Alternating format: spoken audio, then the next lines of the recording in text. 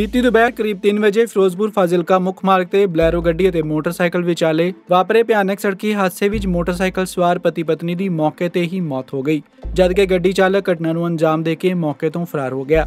ਉਧਰ ਥਾਣਾ ਲੱਖੋ ਕੇ ਬਹਿਰਾਮ ਦੀ ਪੁਲਿਸ ਨੇ ਲਾਸ਼ਾਂ ਨੂੰ ਕਬਜ਼ੇ ਵਿੱਚ ਲੈ ਕੇ ਅਗਲੇਰੀ ਕਾਰਵਾਈ ਸ਼ੁਰੂ ਕਰ ਦਿੱਤੀ ਹੈ। ਮਿਲੀ ਜਾਣਕਾਰੀ ਮੁਤਾਬਕ ਚੱਪਾ ਅੜਿੱਕੀ ਤੋਂ ਸੰਪੂਰਨ ਸਿੰਘ ਅਤੇ ਉਸ ਦੀ ਪਤਨੀ ਮਹਿੰਦਰ ਕੌਰ ਮੋਟਰਸਾਈਕਲ ਤੇ ਸਵਾਰ ਹੋ ਕੇ ਫਿਰੋਜ਼ਪੁਰ ਵਿਖੇ ਰਿਸ਼ਤੇਦਾਰੀ ਵਿੱਚ ਮਿਲਣ ਲਈ ਜਾ ਰਹੇ ਸਨ।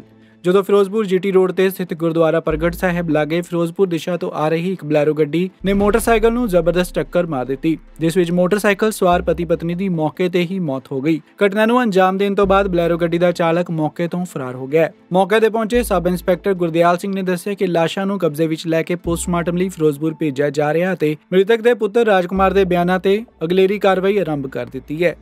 ਜਿਹੜੀ ਚੱਪਾੜਿੱਕੀ ਤੋਂ ਚੱਲੇ ਸੀ ਫਿਰੋਜ਼ਪੁਰ ਤੇ ਫਿਰੋਜ਼ਪੁਰ ਜਾ ਰਹੇ ਸੀ ਤੇ ਹਾਥੀ ਵਾਲੇ ਨੇ ਰੌਂਗ ਸਾਈਡ ਲਿਆ ਕੇ ਉਹਨਾਂ ਦੇ ਵਿੱਚ ਗੱਡੀ ਮਾਰੀ ਤੇ ਬਹੁਤ ਬੁਰਾ ਐਕਸੀਡੈਂਟ ਕੀਤਾ ਜਿੰਦੇ ਵਿੱਚ ਉਹਨਾਂ ਦੀ ਮੌਤ ਹੋ ਗਈ। ਇਹ ਕਿੰਨੇ ਜਣਿਆਂ ਦੀ ਮੌਤ ਹੋ ਗਈ? ਦੋ ਜਣਿਆਂ ਦੀ।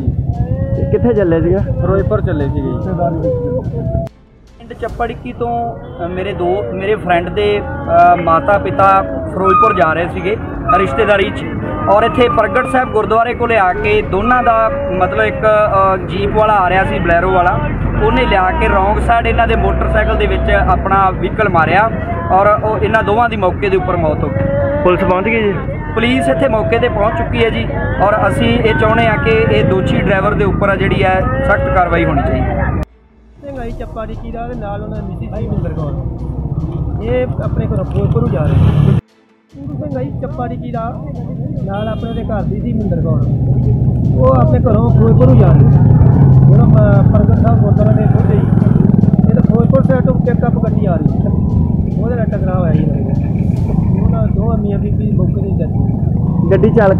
ਗੱਡੀ ਚੱਲ ਪਕਾਰ ਸਾਡੇ ਕੋਲ ਫਿਰੋਜ਼ਪੁਰ ਤੋਂ ਗੁਰਮੇਜ ਸਿੰਘ ਦੀ report ATV news.